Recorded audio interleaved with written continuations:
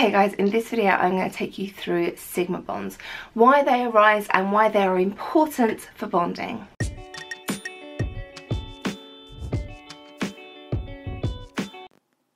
If we compare the electron arrangement of carbon and the 3D structure of carbon, they don't quite match up. In our electron arrangement, we have space for an up, a down electron, a down electron, and an up and a down electron. And up and down are different. Whereas over here, we have one, two, three, four identical spaces. But we don't have four identical spaces in our electron arrangement because we've got space for an up and we've got space for a down over here.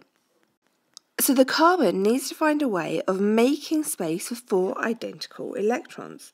So what happens is one of these electrons down here in the 2s orbital gets a little bit excited and turns into a 2p electron and it becomes an sp3 electron.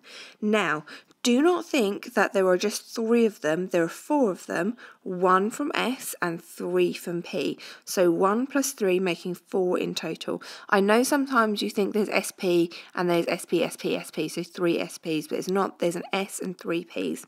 These are now four identical spaces for our electrons to come and fill in with our nice down electrons, matching the four identical bonds that carbon makes.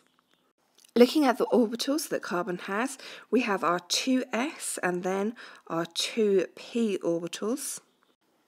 Two electrons in the 2s, an electron in the 2px, and an electron in the 2py. When we excite an electron from the 2s up to the 2p, we get hybrid orbitals. We get an sp3 orbital, and there are four of these sp3 orbitals surrounding, in this case, each carbon.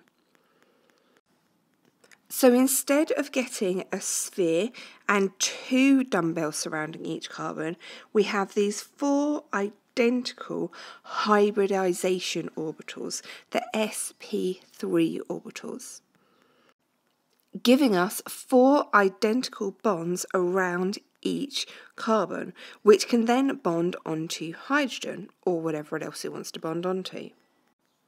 Here in ethane, we can see that our two hybridization orbitals, one from each carbon, are coming together and merging in the middle. And these are all single bonds. Double bonds, we're going to be introducing pi bonds. They get a bit more complicated.